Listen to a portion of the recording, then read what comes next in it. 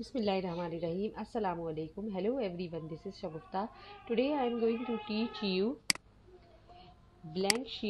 देखिए blank sheet में क्या है कि हम सीरीज़ वाइज देखिए, खुद ब खुद हम जो है नेम डालेंगे और ये जो है जनरेट हो जाएँगे, जो आपके जो है ना, इसमें जो है, जो भी आप नाम लिखें, अक्सर से ये जो है, बहुत सी जगहों पे होता है अकाउंट्स वगैरह में भी होता है बैंक में भी होता है कि आप नाम डालें और उसका अकाउंट नंबर आ जाएगा कि भाई अकाउंट नंबर है या ये टर्न चल रही है कि नाम डालते हैं और पता चल जाता है कि भाई ये आपका नंबर आ गया है या ये आपका सीरियल नंबर है, नाम डाल के बता देते हैं। तो आप नेम वाइज अगर सीरियल नंबर या कोड जनरेट करना चाह रहे हैं तो आप इस तरह से कर सकते हैं कि आप नेम डालें और उसका कोड या सीरियल नंबर खुद ब खुद जनरेट हो जाएगा। तो सबसे पहले हमने यहाँ सीरियल नंबर लिखा, यहाँ नेम लिख दिया और एक कोई नेम टाइप करेंगे और सीरियल नंबर जो सेकंड में है उसमें हम फार्मूला लगाएँगे, वो फार्मूला क्या है, वो फार्मूले में हम लिखेंगे is equal if bracket open bracket open करने के बाद is blank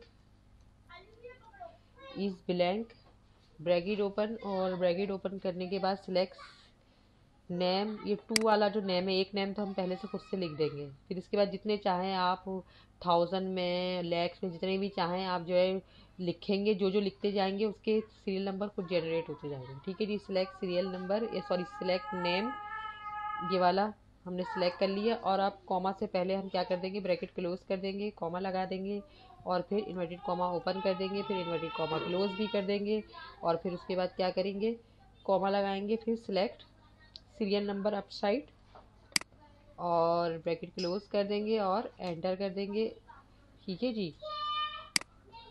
अच्छा जी।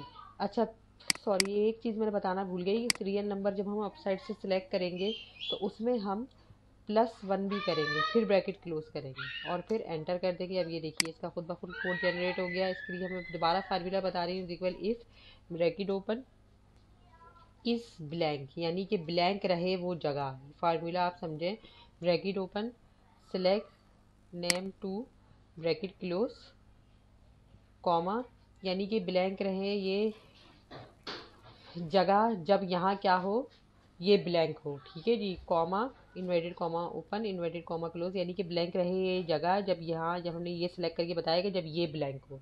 अदरवाइज़ कॉमा यानी कि अदरवाइज़ कुछ लिखें तो select serial number plus one otherwise यानी कि अगर आप कुछ लिखें, ये ब्लैंक रहेगी जगह तो ये भी ब्लैंक रहेगी। अगर यहाँ कुछ लिखें तो क्या हो? सीरियल नंबर में वन प्लस हो जाए। यानी कोई भी सीरियल नंबर जो ऊपर है, उसमें वन प्लस हो जाए। ठीक है जी? ब्रैकेट क्लोज कर देंगे एंटर कर देंगे। देखिए, इसका सीरियल नंबर आ गया। ठीक है जी? अब मैंने जो है, नाम लिखती गई। सीरियल नंबर आते गए। ठीक है जी? अच्छा इसको ड्रैग नहीं किया मैंने। जब आप ड्रैग करेंगे तो इस तरह से होगा कि सीरियल नंबर आते जाएँगे। अब ये देखिए।